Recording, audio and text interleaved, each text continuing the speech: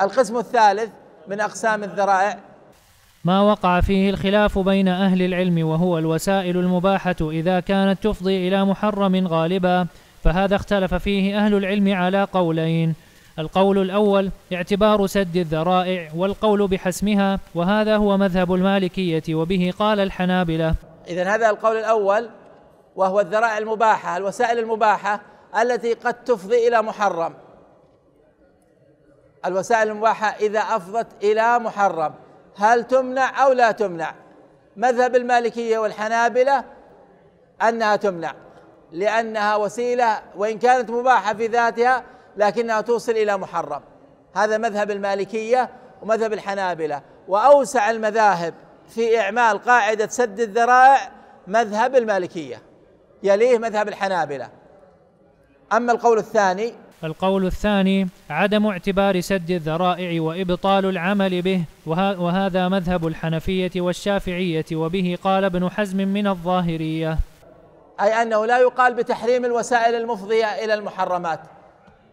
وهذا مذهب الحنفية مذهب الحنفية والشافعية وهو قول ابن حزم من الظاهرية. الآن يعني يشير اختصارا لأن هذا الموضوع موضوع كبير وفيه مسائل وتفصيلات وتفريعات تخرج بنا عن مقصودنا في تقرير هذا الأصل. ولذلك يقتصر على الإشارة إلى مهمات ما يتعلق بالاستدلال على هذا الأصل. فيقول وقد احتج وقد احتج كل فريق بأدلة لإثبات ما ذهب إليه. حتى إن ابن القيم ذكر في إعلام, المو... في إعلام الموقعين تسعة وتسعين وجها في الاستدلال لصحة اعتبار هذه القاعدة والعمل بها.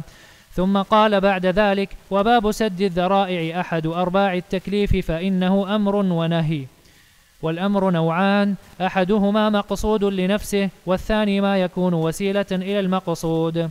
والنهي نوعان أحدهما ما يكون المنهي عنه مفسدة في نفسه والثاني ما يكون وسيلة إلى المفسدة.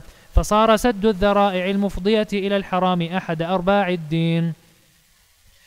ومهما يكن الأمر فإنه بالنظر إلى واقع الفقهاء ممن نسب إليهم القول بعدم اعتبار سد الذرائع يتبين أنهم قد اعتبروا هذه القاعدة في بعض اجتهاداتهم لكنهم أعملوها باعتبارها مندرجة تحت أصل آخر. والذي تميز به المالكية بالدرجة الأولى والحنابلة بالدرجة الثانية أنه معتبر العمل بسد الذرائع أصلا مستقلا من أصول الأحكام وأنهم أعملوها أكثر من غيرهم. هذا إشارة إلى أن من قال بعدم اعتبار سد الذرائع لا يعني أن لا يوافق في النتائج في مسائل الأحكام التي استعمل فيها بعض العلماء قاعدة سد الذراع قاعدة سد الذراع في التوصل للحكم. فقد يتفق الفريقان على النتيجة وإن اختلفا في طريق الوصول إليها. يتفق الفريقان على نتيجة مع اختلافهم في طريق الوصول إليها. مثال ذلك الاستدلال على القبلة.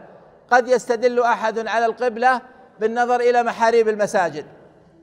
فهذا طريق من طرق الاستدلال على القبلة. وآخر يستدل على القبلة باستعمال الإحداثيات والأجهزة المعاصرة التي تحدد الجهات. هذا طريق آخر. قد يرى أحد أن الطريق الذي تستعمل فيه الأجهزة غير صحيح لاحتمال الخطأ وأما المحاريب فإنها مما جرى به عمل أهل الإسلام فهي أكثر دقة ويقينا بصحة الجهات. لكن في النهاية اتفقا على أن جهة القبلة هي هذه الجهة شرق أو شمال أو جنوب أو غرب.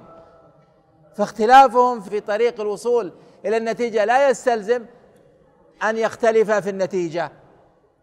ولهذا من قال بعدم سد الذرائع لا يستلزم أن لا يوافق من قال بسد الذرائع في ما يتعلق بنتائج الأحكام. لكن ينبغي أن يعلم أن العمل بسد الذريعة ليس مطلقا. بل ثمة ضوابط وقواعد لا بد من النظر فيها.